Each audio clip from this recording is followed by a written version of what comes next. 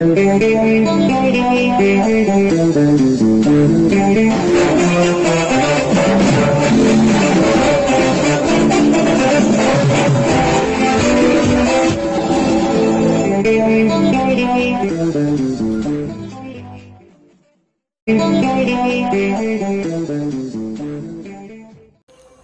घनश्याम प्रोनिया ने दी ग्रामीणों को लाखों की सौगात।